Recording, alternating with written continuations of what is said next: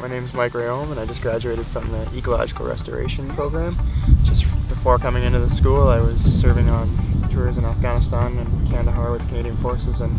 I had transitioned into the academic environment only four months after that and uh, it was an incredible challenge just trying to adjust back to civilian life but also on top of that to uh, the academic world and having to uh, take on the challenges of school after you know trying to yeah wrestle with my own uh, personal experiences. The Masters would lead hopefully into a career I'm, I'd like to say with the UN. Uh, I'd like to get involved in bringing the sort of two life experiences together, doing environmental restoration in conflict zones as part of post-conflict reconstruction. I feel like it's yeah, very important and uh, necessary work. Getting through the experience was definitely, uh, I can attribute that to the flexibility and the compassion and the, the graciousness of some of the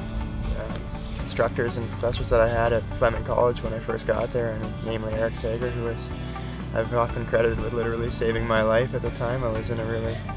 you know, a difficult space and uh, trying to come to terms with those experiences that I had been in and what I had seen and been involved with in Afghanistan.